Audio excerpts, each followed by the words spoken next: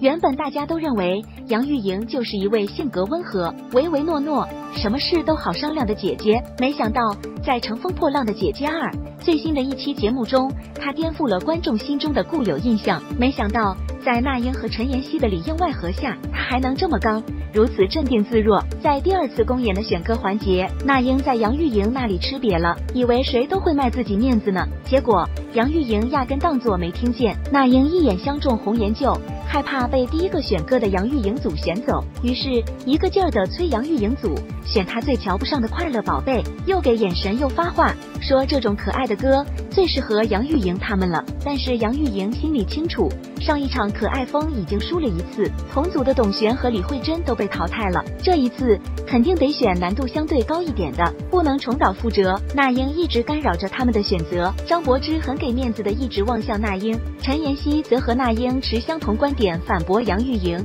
陈妍希也是最后被其他组拒绝，最后调剂到杨钰莹组的。不过他似乎对杨钰莹很是看不上，当队长选歌时，他直接出声阻止，这个很考功底的。姐姐陈妍希采访时直言，感觉自己要被提前淘汰了，还隐晦透露，就是因为选择了这个没有把握的歌，所以可能要结束自己的乘风破浪之旅了。陈妍希对容祖儿和对杨钰莹的态度也是天壤之别，一个是捧着哄着，一个是嫌弃着，可能是她觉得跟着杨钰莹容易输吧。你喜欢这样可甜可刚的杨钰莹吗？快来评论区聊一聊吧。